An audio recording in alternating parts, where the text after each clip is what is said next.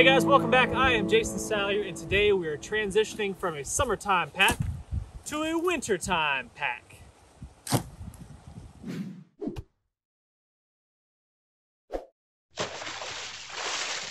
So this is my summertime pack, guys, and you, I've done videos on this before. Um, watch the video called 72 Hour Pack, I believe it's called. Um, and you can kind of get all the contents of, of what's in here. And I'm just, I'm not changing a whole lot. I'm basically just transitioning the, the items in here into a larger pack and I'm adding lots of warming layers and, and things of that nature, things that'll come in handy as the weather starts to get a little bit colder. So it's not drastically different. I'm just gonna be showing you kind of the stuff that's, that's changing. If you wanna see what's in here, check that video out.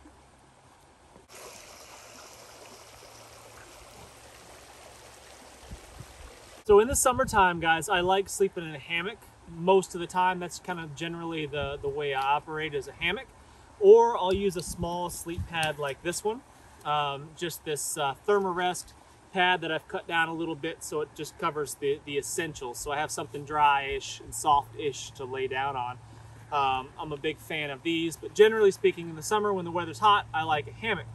But as the weather cools down, um, I like to get up or get back down on the ground it's because it's a little bit warmer. Hammocks are a little bit tough to insulate yourself because you compress that insulation as you lay down on it. If you lay down in a sleeping bag, there's, there's lots of ways around it, but it's a little bit trickier. Um, so I'll switch over to something like this. This is a Big Agnes Q Core, um, and it is a very, very warm uh, sleep pad, an inflatable sleep pad uh, that insulates me completely from the ground. Doesn't matter how cold it is outside. This thing will keep you warm and keep you up off of that cold, hard ground. Um, and I've also done a video on specifically this system um, along with the sleeping bag, and you guys can check that out for more details. But that's something that I'm going to be transitioning to is a inflatable sleep pad. It's got a inevitably people are going to say, well, what if it gets a hole in it? Yeah, that sucks. Um, but even if this does get a hole in it, it has a it's basically a mylar layer inside this. And if I can't patch it for some reason, I have a patch kit in here, but if I can't patch for some reason, it will still keep me warmer than if I was just to be laying on the cold, hard ground. So, so there's that. Um, that's that's going to be kind of a primary thing as the weather starts to get get cold, is something to lay on top of. And now in the summertime, I don't generally carry a sleeping bag because around here the temperatures at night 50s is the lowest that it's going to get in the summertime. Uh, I might carry a small fleece blanket or a, a poncho liner, something like that, but it's not, not a big deal. But in the wintertime, temperatures get below freezing pretty much every night around here. So I'm gonna want something, if I'm planning on spending the night, I'm gonna carry something that I can sleep comfortably in without having to sleep next to a fire for the most part. And that's gonna be this Big Agnes um, uh, anvil horn sleeping bag. And this is a system, again, I've done a video on this in conjunction with this because they work together. But this is a 15 degree rated, rated down bag and it is extremely comfortable, extremely warm. And it goes in this stuff sack right here and compresses down. That's the great thing about down um, is that it compresses down really small, smaller than a, than a synthetic down or a synthetic fiber would. And it's really, really light. The disadvantage to a down sleeping bag is that if it gets wet, there's it loses its insulation um, and it takes a long time to dry them out. This bag, however, has been treated with some sort of scientific process that allows it to not soak up the water. The down itself doesn't absorb the water. It's actually pretty cool. I, I don't understand it. Um, I just know that it works, and that is why I chose to spend the high dollar um, high price tag on this Big Agnes bag here. But it compresses down really, really small for a 15 degree bag, and I could get it even smaller than that if I wanted to. So in conjunction, these two things together, I will be extremely cozy down to 15 degrees. I've slept in this uh, probably right about 15 degrees actually, and was really, really cozy and warm in just my um, uh, long johns basically. So, so there's that. That's what's gonna keep me warm and cozy sleeping throughout the night. Don't need a fire or anything like that to uh, maintain myself. Um, one of the problems, you, don't want to leave a down sleeping bag in a compression sack like this you don't want to leave it in here for a long period of time. Like you, I wouldn't just stick this in this pack in this compression sack, leave it in my truck and forget about it for months. Uh, that's not really a good idea because that will compress the insulation and it will lose some of its R value. You don't really want to do that. So when it's not in use, if I'm not planning on using this thing, I'll take it out and I'll put it in this nice lofty bag here and just keep it outside of my pack and that will make sure that it uh, doesn't get squished. This is a Gore-Tex uh, bivy bag that comes in, in the, uh, the military modular sleep system. Um, and this is something that I'll add to my, uh, my pack list if I know it's going to be really wet weather um, or if it's going to be really cold. I'll add this to it. Um, basically what I can do is I can put the sleep pad my sleeping bag all inside of this and crawl in there. And it doesn't matter what the weather is, It doesn't matter how nasty it gets. If I'm inside of this, I'm going to be as cozy, as warm, and as dry as you can, as you can expect, as you could hope for. Um, so the combination of these three things right here, I'm pretty much for where I live. I don't live in the Arctic. I live in the south. The temperatures in the wintertime, the coldest it's going to get is going to be around zero degrees Fahrenheit ish. That's going to be a really cold night. Um, but the air around here tends to be pretty damp, and in conjunction with cold weather, that dampness makes it pretty miserable if you're not prepared. And adding this Gore-Tex bivy bag to the situation, you know, it just makes me that much more comfortable.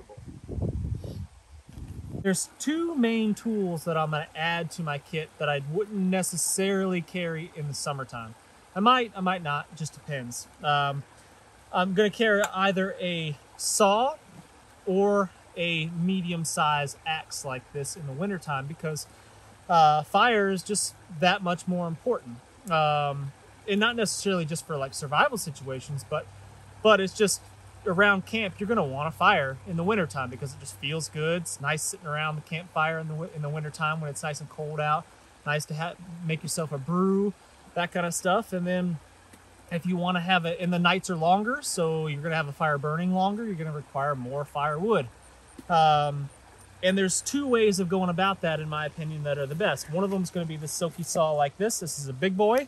This is a brand new one. I haven't even used this one. Um, or it's going to be an axe like this. And now there's advantages and disadvantages to both. I get that.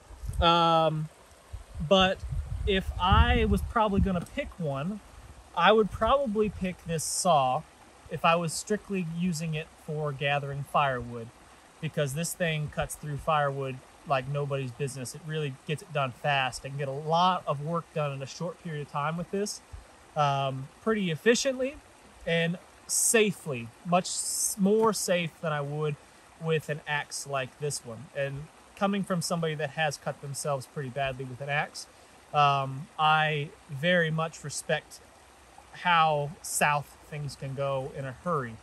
Um, now, with that said, this is a much more versatile tool. There's I can do more than just cut with this. Um, I can use it as a hammer, obviously, pounding stakes and things like that in the ground. Not that I do that very much.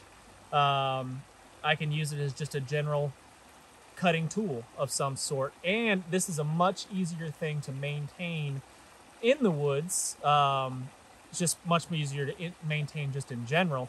Um, keeping an edge on it's not difficult. Um, I've even replaced an axe handle using only an axe head before, and I've done a video on that. If you guys want to check that out, thought that was pretty cool.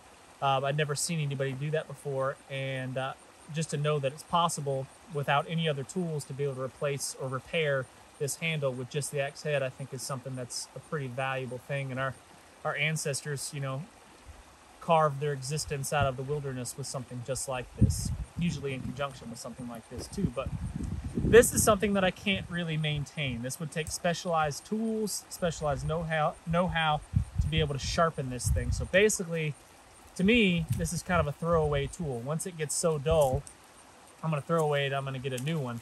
Um, but, but again, just for, I mean, if you want firewood and that's your only goal, that's all you really care about, this is to be a really hard thing to beat right there. I can get some serious firewood gathered with this tool in a really short period of time.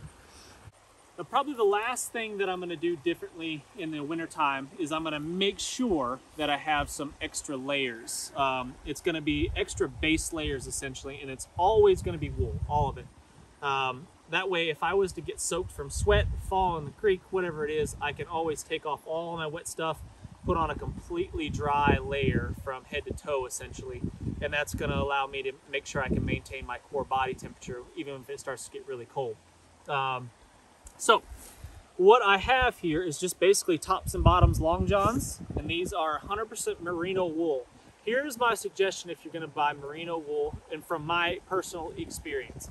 It is not as long lasting as um, synthetic materials or cotton. So this is the 175 weight top and bottom uh, uh, icebreaker merino wool. It's very comfortable, it's very soft, um, and it is warm but it is not as durable. I've noticed that I get small holes and things like that in it. So if you're gonna buy merino wool, I would say get, and you go with the Icebreaker brand, which I think is quality, is good stuff. I would go with at least the 200 weight just for durability's sake. I've got a couple of shirts that are 200 and they don't have any holes and I've been wearing them for a long time. So I would suggest that. Um, but anyway, I've got tops and bottoms here. I've got some extra wool socks and I've got this ridiculous looking hat but man, it is warm. It's made from alpaca wool, believe it or not. it's really warm, keeps your head warm. If you're sleeping at night, this thing is great to put on, covers up your ears, and it is, uh, it's just, it's a pretty nice hat actually. Um, anyway, so there's that. And I need to make sure that this stays completely dry no matter what. Uh, I usually have multiple ways of ensuring that my gear stays dry. One, first and foremost, is you guys know a poncho. Um, a poncho is fantastic because when you put it on, you can put it up over the top of your pack to keep your pack dry if it's, it should be, happen to be raining. Um, but secondary to that, I use these very expensive dry bags, otherwise known as a uh, black trash bag. Um, you can cram your clothes down in the bottom of the bag. Again, a multi-purpose kind of uh, system here. I can use this bag for other things as well. But I cram my uh, layers down in here. Oh, something that's not in here that I will be adding is, is a pair of wool gloves. I've got them somewhere around here. I just don't know where they are right now. But anyway, I cram my clothes down on the bottom of that, squish the air out like so, twist it up a little bit, and then wrap the thing up. And there is my extra layers that I can put kind of just down at the bottom of the bag if I should need them. Not something I'm always going to dig into, but if I need it, it's there. Um, and it's not really heavy, doesn't weigh that much, and if, a, if, my pack is big enough, it's not even going to take up that much space to be noticed. Um, now, with that, along those same lines of keeping things dry, what I do is if I'm using this bivy bag, I'll take the sleeping bag, I'll stuff it down in the bottom of the um, of the bivy bag, put the mattress in there too, not that you have to, not that that's a big deal to keep that dry. But I'll stick it all down on the bottom and do exactly the same thing. Squish all the air out of it, give it a twist,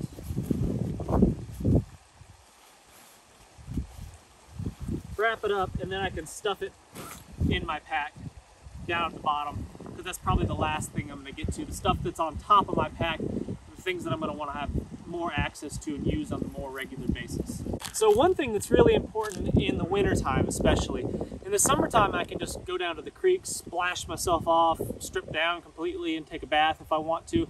No big deal, it feels fantastic. In the wintertime, that sucks. Nobody wants to strip down, get in the creek, bathe in the icy, literally icy cold water. Um, so having wet wipes like this is just a really nice luxury to have that you can clean yourself up without freezing your tuchus off. So just a small pack like this, slipped in the um, somewhere on the outside of your pack, you can just clean yourself up at the end of the day and it's just nice before you bed down to not be filthy. Um, tuck my saw kind of in the side of my pack here.